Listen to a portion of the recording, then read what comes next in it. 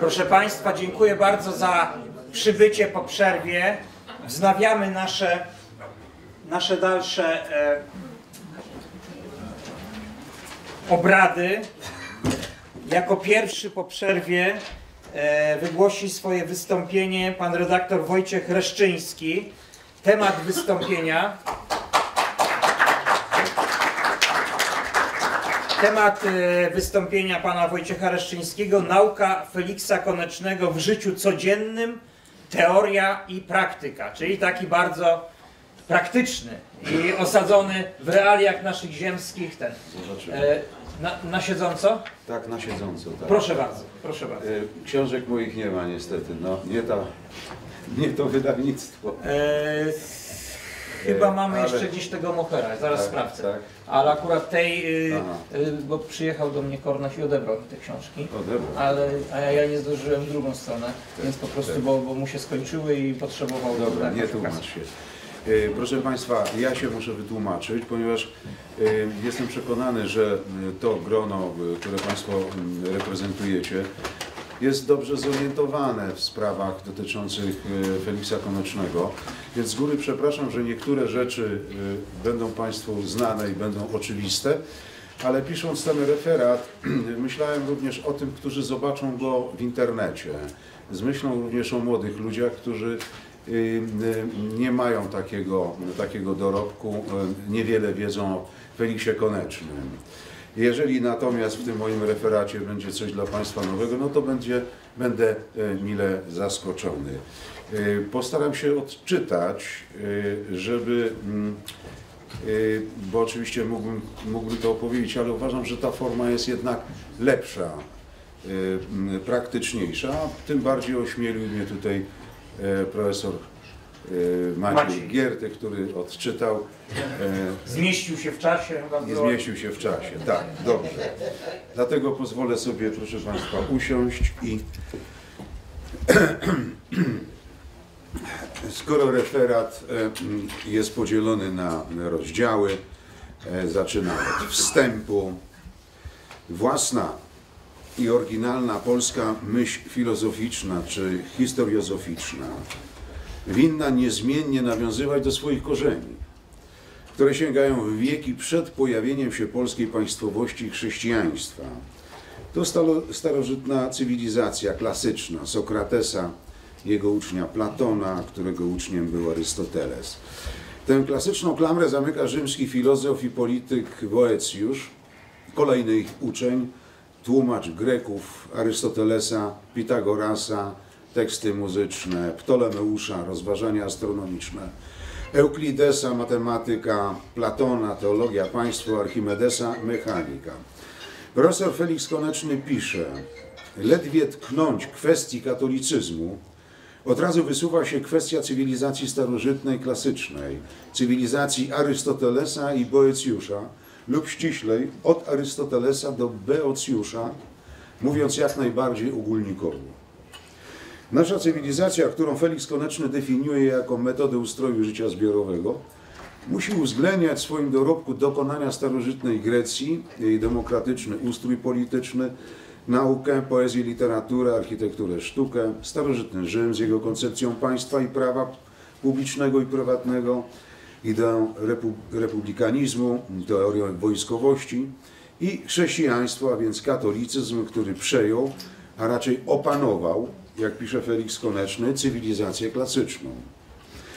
Wytworzył się w ten sposób filozoficzny tryptyk, jak w ołtarzu, gdzie dwa boczne skrzydła tworzy starożytna Grecja i starożytny Rzym, a w środku, na wywyższeniu, zwieńczającym całość, dominuje chrześcijaństwo, katolicyzm.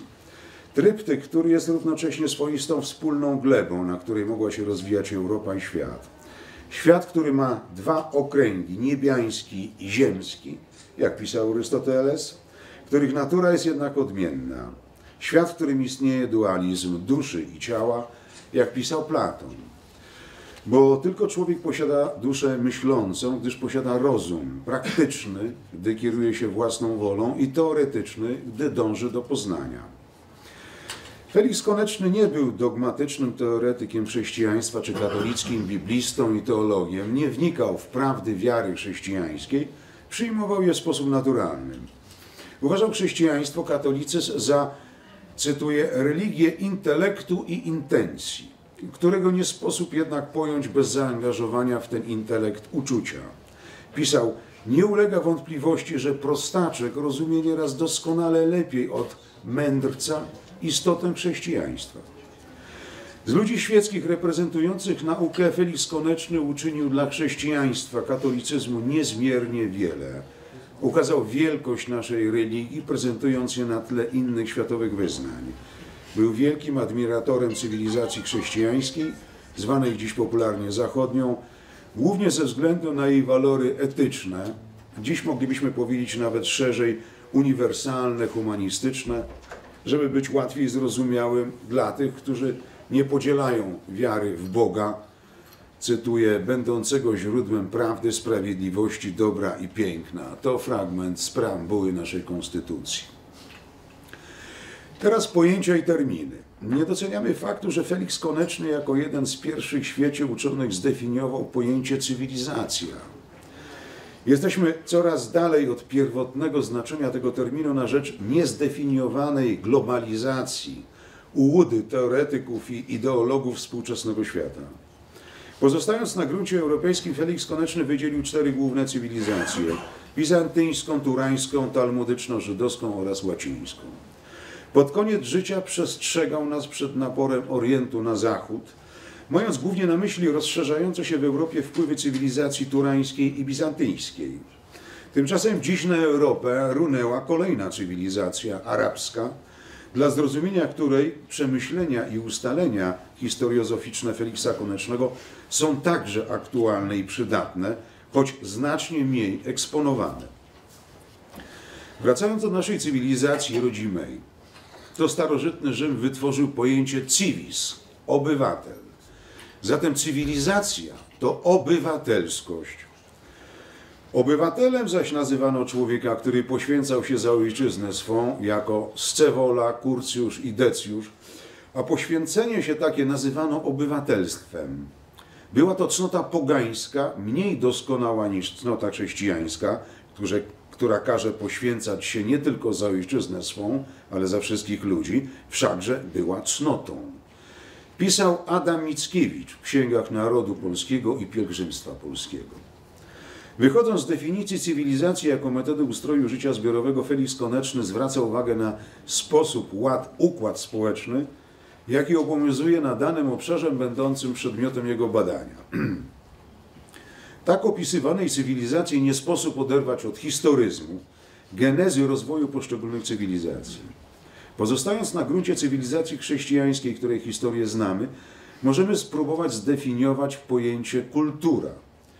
Niezwykle ważne, pamiętając znamienne słowa świętego Jana Pawła II o tym, że przyszłość należy do kultury, a nie do polityki. Zatem kultura. Tu także toniemy w wielu nieprecyzyjnych definicjach, dlatego przewodnikiem będą znowu przemyślenia Feliksa Konecznego. Przypomina nam, że kultura to uprawa, dbanie, pielęgnowanie, a także kształcenie. Słowo to pochodzi od łacińskiego colere, a konkretnie cultus agri, uprawa roli. Uprawiamy więc polską kulturę w cywilizacji chrześcijańskiej, Francuzi uprawiają kulturę francuską, a dziś już także arabską, Niemcy kulturę niemiecką zarówno w obrębie cywilizacji bizantyjskiej, jak i chrześcijańskiej. Wyspą tej ostatniej jest Bawaria, która ponownie wprowadziła do instytucji publicznych, w tym do szkół, prawo eksponowania chrześcijańskiego krzyża. Rosyjska kultura rozwija się w ramach cywilizacji bizantyjskiej i turańskiej. Elementem, częścią każdej cywilizacji jest religia. Jedynie w cywilizacji żydowskiej i bramińskiej religia nie daje się wyodrębnić, tworzy wraz z cywilizacją spójną całość, Dlatego o tych cywilizacjach mówimy, że są sakralne.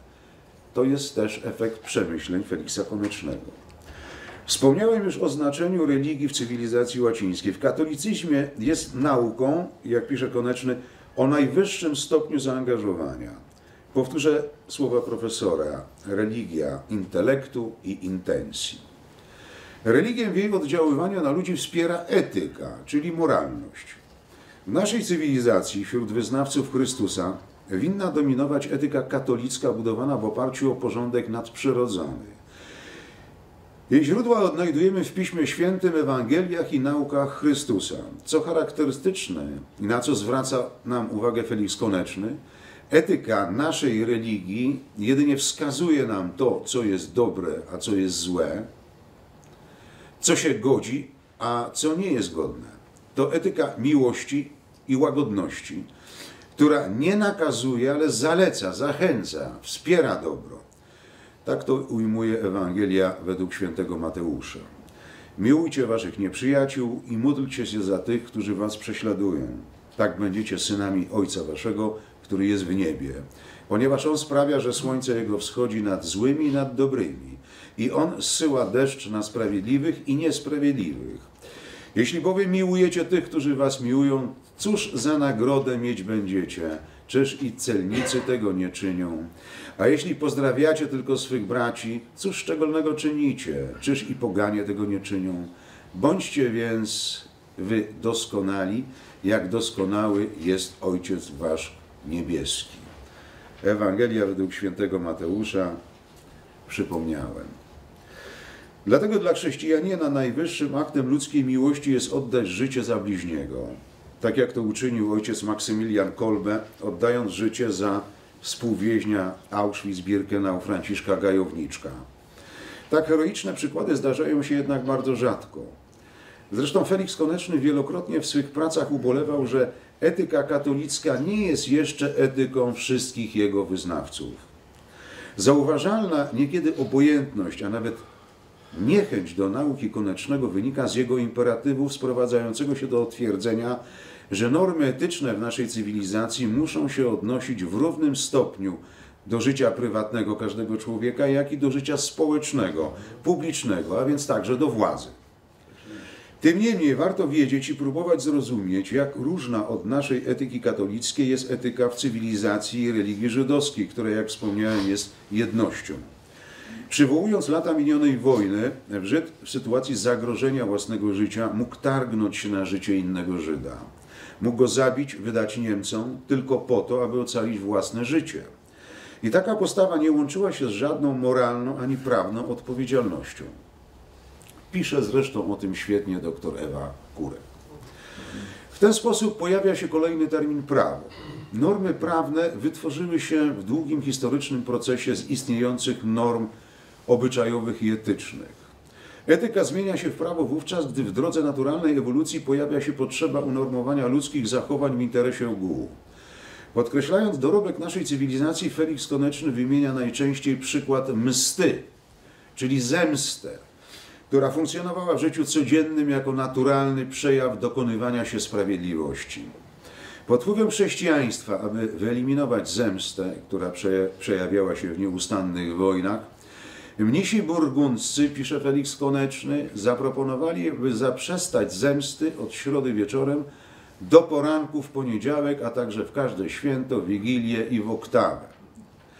Od 1400 od 1041 roku powoływanie się na zemstę zostało zarzucone w prawie całej Europie. Wkrótce Kościół katolicki wymusił na władzy świeckiej zakaz msty, czyli zemsty, a w jej miejsce wkroczyło prawo, to co dziś nazywamy wymiarem sprawiedliwości. I tu, proszę Państwa, nie mogę się powstrzymać od dygresji, która niewiele ma wspólnego z tematem i bohaterem mojego referatu. Otóż doznałem autentycznego szoku, kiedy sędzia Naczelnego Sądu Administracyjnego pani Irena Kamińska wyraziła publicznie chęć zemsty na obecnej władzy za bezprawne metody, jakie jej zdaniem ta władza stosuje. Zamiar dokonania zemsty, choćby wyrażenia intencji dokonania zemsty, tysiąc lat po oficjalnym jej wyeliminowaniu w Europie, z ust polskiego sędziego, prawnika, pozostawiam bez komentarza.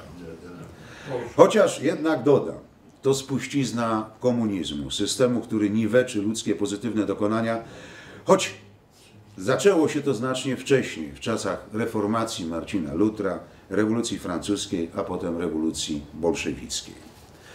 Metody badawcze. Po bardzo pobieżnym, siłą rzeczy lakonicznym usystematyzowaniu terminów i pojęć, jakie funkcjonują w pracach Feliksa Konecznego, a więc przypomnę, cywilizacja, kultura, religia, etyka, prawo, pora na dokonanie przeglądu metod, narzędzi, przy pomocy których nasz krakowski uczony uzasadniał swoje naukowe wywody. Mogą one mieć bardzo praktyczne zastosowanie w naszym życiu codziennym, o ile trafi ktoś na ślad przemyśleń Feliksa Konecznego i oczywiście zostanie do nich przekonany, tylko wtedy. Założeniem pierwszym i podstawowym jest przyjęcie prawdy, że człowiek składa się z duszy i ciała. Wiedzieli o tym starożytni, akceptował tę prawdę Arystoteles, choć pojęcie Boga osobowego w Trójcy Jedynego nie było mu znane. Chrześcijaństwo nie tylko utrzymało tę prawdę, odrzucaną przez tych, którzy nie godzili się na monolatrię, ale uznało supremację sił duchowych nad materialnymi. Gdyż Twórcą świata jest Bóg i od Niego pochodzi wszelka mądrość. Od Boga Stwórcy pochodzi dane nam prawo naturalne. Felix Koneczny przenosi aksjomat prawa naturalnego na grunt społeczny, podając jako przykład tworzenie się narodów. Najpierw były rody, potem plemiona, dalej powstawały ludy i społeczności jako większe zrzeszenia ludzkie. W końcu wytworzyły się państwa i narody. W narodzie widział koneczny boski zamysł, by tak pokierować losami człowieka na ziemi, by wytworzyło się w długim ewolucyjnym procesie historycznym zrzeszenie o cechach jednej cywilizacji. W pracy Prawa dziejowe Felix Koneczny pisał Cała historia powszechna nie wykazuje ani jednego narodu o dwóch cywilizacjach. Natomiast trzy największe państwa uniwersalne, państwo Aleksandra Wielkiego, Cesarstwo Rzymskie i Dżingis Hanat Mongolski, rozpadły się ściśle według zasięgu różnic cywilizacyjnych. To ważna uwaga, że cywilizacja może obejmować swoim zasięgiem nawet kilka narodów, gdyż cywilizacja, jako metoda ustroju życia zbiorowego, jest pojęciem szerszym od pojęcia narodu. Szerszą, pojemniejszą także wtedy, gdy w jednym narodzie istnieją dwie lub więcej kultury, o czym wspomniałem. Do dziś mamy takie przykłady. Andaluzyjczycy i Katalończycy, Flamandowie, Walończycy, Czesi, Słowacy, Anglicy, Szkoci. A więc to cywilizacja przesądza o ustroju życia zbiorowego, nie państwo, narody, ani nie ich kultura. Uwagi praktyczne, źródła poznania. Mogę teraz przejść do uwag praktycznych, które zasygnalizowałem w tytule referatu. Przemyślenia Feliksa Konecznego mogą być bowiem doskonałą nauką i przestrogą dla wszystkich tych, którzy nie widzą zagrożenia dla cywilizacji łacińsko-chrześcijańskiej zachodniej po narzuceniu Europie masowej emigracji ludzi z kręgów cywilizacji arabskiej, islamskiej. Mogą być też odtrutką dla tych, którzy uwierzyli w program multikulturalizmu, syntezy różnych cywilizacji. Według Konecznego nie jest ona możliwa. Więcej, dwie cywilizacje na tym samym gruncie będą ze sobą rywalizowały i bynajmniej niepokojowo, aby w końcu jedna cywilizacja pokonała drugą, konkurencyjną dla niej. Wskazałem tu na prawa dziejowe, które jako pierwszy opisał Felix Koneczny. I błędem jest szukanie w nich determinizmu, który był obcy Feliksowi Konecznemu. A z takim zarzutem się spotkałem, nie będę już wymieniał wspólnie z Krzysztofem, z pewnym wybitnym polskim historykiem, który dopatrzył się u Konecznego właśnie determinizmu. Bezrefleksyjne europejskie lemingi, przesiąknięte ideologią neomarksizmu, akceptują program narzucony Europie przez walczącą chrześcijaństwem światową masonerię, europejską biurokratyczną oligarchię i zwolenników rządu światowego. Celem tej mega operacji jest wyeliminowanie chrześcijaństwa i narodów odwołujących się do własnych historycznych korzeni przy pomocy wrogiej wojującej cywilizacji arabskiej. Wprowadzenie w państwach narodowych szariatu, prawa islamskiego, całkowicie zmieni kształt, ustrój naszej cywilizacji. Na przykład upadnie charakterystyczna tylko dla naszej cywilizacji zachodniej instytucja małżeństwa, jako związku między jedną kobietą i jednym mężczyzną, zapanuje prawo odwetu i zemsty, wytworzy się silne biurokratyczne państwo ze słabym społeczeństwem, zapanuje monizm prawny, bo upadnie prawo publiczne, a etyka podzieli się na dwie sprzeczne ze sobą części, publiczną i prywatną. Reasumując ten wątek, ważny cytat Feliksa Konecznego. Jest wtedy naród zrzeszeniem dobrowolnym, wywodzącym się nie z państwa. Nie z państwa zmieniają się, nie państwa zmieniają się w narody, lecz przeciwnie, z narodów mogą się wytworzyć państwa narodowe. W każdym razie geneza narodu tkwi nie w państwie, lecz w społeczeństwie. Pora przejść do innych narzędzi naukowych profesora, które w postaci terminów i pojęć z zakresu różnych dyscyplin naukowych mają ten walor, że pochodzą sprzed epoki Marksa, Engelsa i Lenina. Felix Koneczny jako historyk stał niezmiennie na gruncie aposterioryzmu. To jedna z podstawowych cech naszej cywilizacji. Aposterioryzm to inaczej metoda indukcyjna, która pozwala rozumowi poznawać i oceniać rzeczywistość. Dlatego tak ważne dla nas w poznaniu rzeczywistości są fakty, daty, nazwiska, dokumenty, dowody, wiarygodne potwierdzenia szeregu okoliczności i poznanie tysięcy ważnych szczegółów, których nie wolno nam przeoczyć w dążeniu do poznania obiektywnej prawdy.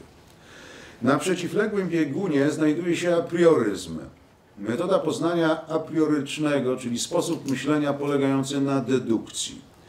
Na przykład w cywilizacji żydowskiej fakty nie odgrywają większej roli. Liczy się subiektywny opis, który w zależności od okoliczności miejsca i czasu może się zmienić, a niekiedy nawet zaniknąć. Ten nacechowany emocjami opis, który zaczyna, się, zaczyna dziś w świecie odnosić triumfy, szczególnie w mediach i w propagandzie, określany jest najczęściej słowem narracja. Narracja dla mnie to legenda, swobodna opowieść, jak legendą jest dla nas krakowski smok czy smutne losy Piasta Popiela. Tak właśnie pisze i konstruuje swoje książki o historii niedouczony socjolog Jan Tadeusz Gross, jak mówi doktor Ewa Kurek, bajkopisarz. Dzięki temu pseudohistorykom, takim pseudohistorykom, bajkopisarzom, istniejący 4000 na, lat naród żydowski i jego judaizm, sakralne spoiwo całej cywilizacji, został dziś wzmocniony narracją o Holokauście, wzmacniając i wzbogacając pradawną religię, tak jakby w Holokauście, który jest oczywiście realnym faktem, wielką ludzką tragedią, tak jakby było coś zastrzeżonego jedynie dla narodu żydowskiego i wyjątkowego w historii ludzkości. Wiemy, że tak nie jest. Reasumując, aprioryzm to ucieczka od prawdy, zakamuflowanie prawdy, to wytaczanie drogi do wszelkich rewolucji, choć jak pisze Felix Koneczny, bez dedukcji nie byłoby na pewno rozumu ludzkiego, lecz bez indukcji byłby on tylko połowiczny. Zatem a posteriorys to doświadczenie, ewolucja myślenia. Zgodnie z tą metodą do doświadczeń przyszłości podchodzi się niezwykle krytycznie. W myśl metody drugiej, apriorycznej, czyli dedukcyjnej, troska o doświadczenie i fakty nie ma większego znaczenia. A teraz nowe pojęcia, nowe klucze badawcze profesora Feliksa Konecznego. Personalizm i gromadność, z których pierwsze słowo jest nam bliskie, a drugie obce, a nawet wrogie cywilizacji łacińsko-chrześcijańskiej. Łacińskie słowo persona oznacza osobę, a każda osoba posiada ludzką godność i podmiotowość, co potwierdza obecne prawo międzynarodowe. Personalizm nie jest równoznaczny z indywidualizmem, ani jego przeciwieństwem, czyli kolektywizmem. Personalizm wiąże się ściśle z supremacją sił duchowych, gromadność z supremacją sił materialnych. Personalizm istniał w starożytnym Rzymie i istnieje w cywilizacji łacińsko-chrześcijańskiej. Gromadność, zarówno w państwie, jak i w społeczeństwie, istnieje w cywilizacjach orientalnych, żydowskiej, bizantyjskiej, turańskiej, a także w cywilizacji arabskiej islamskiej. Dodajmy, tam też dominuje aprioryzm jako metoda opisu rzeczywistości. Moje pokolenie mogło poznać na własnej skórze, czym jest gromadność. To ideologia komunistyczna zaprowadzona w Polsce siłą po II wojnie światowej. Walka z przyrodzonym Polakom personalizmem pełna była indywidualnych tragedii. Skoro personalizm nie mógł zaistnieć, przeradzał się jako reakcja obronna w indywidualizm, a często także w egoizm, cechy wrogie, wrogie naszej personalnej cywilizacji. Następne narzędzie, z którego Felix Koneczny korzystał przy ocenie różnych cywilizacji, to pojęcia organizm i mechanizm. Zwykle dla wyjaśnienia dla ich wyjaśnienia odwołuję się do opisu małego przygranicznego miasteczka przyłączonego do Prus już w pierwszym rozbiorze Polski, Lubawy, miejsca urodzenia moich rodziców. Kiedy po 123 latach egzystencji w obcej, wrogiej cywilizacji bizantyjskiej, a Prusy to emanacja bizantynizmu, kiedy to miasteczko znowu się stało polskim, można było się przekonać, jak typowy dla funkcjonowania Prus mechanizm przeradza się w błyskawicznym tempie w organizm właściwy cechom łacińskiej Polski. Odrodziły się i cywis, i obywatelskość, czyli organizm przejawiający się w ludzkiej nieprzymuszonej aktywności. W pięciotysięcznym miasteczku w II Rzeczpospolitej działały trzy teatry, jeden zawodowy, dwa amatorskie, trzy szkoły, cztery korty tenisowe, basen pływacki, a zimą lodowisko, liczne organizacje społeczne i religijne, Sodalicja Mariańska, chóry świeckie i kościelne, cechy rzemieślnicze i kupieckie, Ochotnicza Straż Pożarna, liczne harcerstwo, grupy strzeleckie i gimnastyczne, Straż Pożarna. Nie wymieniłem instytucji właściwych władzy, tylko te powstałe z oddolnej społecznej inicjatywy, własnej obywatelskiej energii mieszkańców. Mechanizm to przeciwieństwo organizmu. Mechanizm to omnipotencja władzy, bez zgody której nie można swobodnie działać i dobrowolnie się rozwijać. Posłuchajmy, co na ten temat pisał Felix Koneczny. Nie da się wytworzyć zrzeszenia, które by było równocześnie organizmem i mechanizmem, bo mieszanina tego z tamtym posiada własności trujące. Stanowi truciznę i dla państwa, i dla społeczeństwa.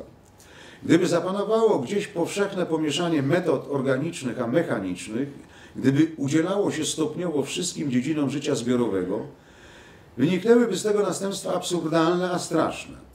Wspólna cywilizacja stanowi bowiem więź, więź zrzeszeń.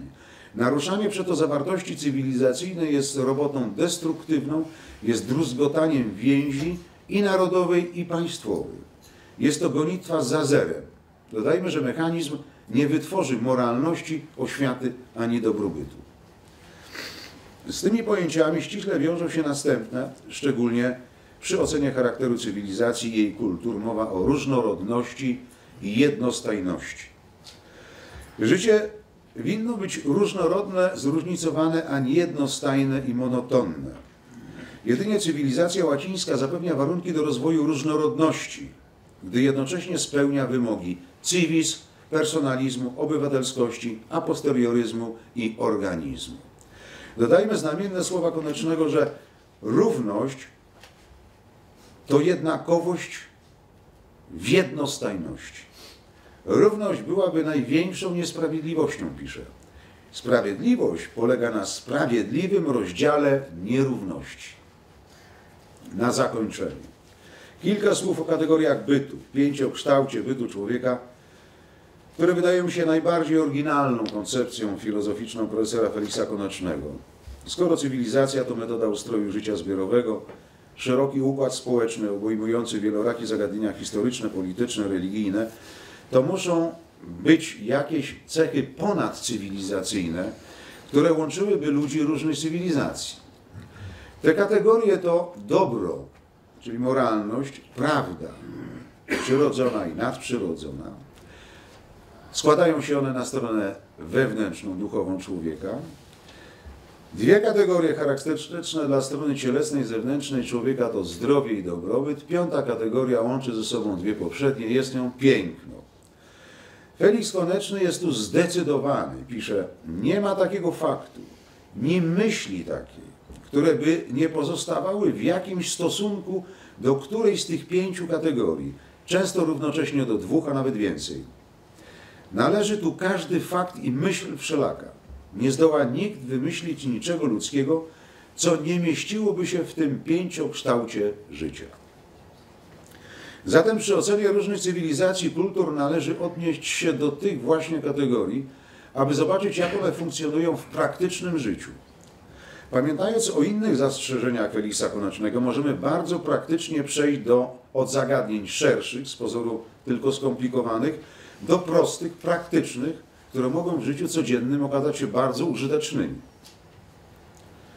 Zagadnienia praktyczne, już na koniec. Zawierzasz opowieściom, bajkom czy doświadczeniu sprawdzonym, zbadanym faktom? Czy czujesz się przedmiotem, pionkiem w życiu, czy podmiotem, personą, tym, który chce na życie wpływać? Żyjesz sam tylko dla siebie i rodziny, czy także z innymi ludźmi i dla ludzi? Wolisz różnorodność życia, jego wyjątkowość, oryginalność, niepowtarzalność, czy monotonię, jednostajność, spokój dla zapewnienia sobie bezpieczeństwa? Chcesz, by państwo decydowało za ciebie, wybierasz omnipotencję państwa, czy wolność osobistą i wpływ na własne państwo poprzez przyjazne ci, rozwinięte i aktywne społeczeństwo. Wybierasz dobro, moralność czy zło. Wybierasz prawdę, tę nadprzyrodzoną, jakiej światłem jest Bóg, i prawdę wśród ludzi, czy kłamstwo i manipulacje. Czy cenisz sobie zdrowie i materialne szanse na polepszenie własnego losu, czy jest ci to obojętne? Czy zgadzasz się, że powszechna równość byłaby największą niesprawiedliwością? Jeżeli mówisz tak, czy zatem sprawiedliwość nazwiesz sprawiedliwym rozdziałem nierówności? Wybierasz piękno wewnętrzne, duchowe i zewnętrzne w sztuce, malarstwie, teatrze, czy brzydotę? Doceniasz i szanujesz swój naród, który kształtował się przez wieki, walcząc o swój byt, przetrwanie. Naród posiadający własne terytorium, granice, historię, język, kulturę, obyczaj jego twórców i bohaterów. Czy czujesz się bardziej Europejczykiem lub kosmopolitą, obywatelem świata, obojętnym na pamięć o swoich przodkach i losy tych, którzy po tobie nastaną? Oto jeden z praktycznych już nie od teoretycznych wymiarów myśli profesora Feliksa Konecznego. Dziękuję bardzo.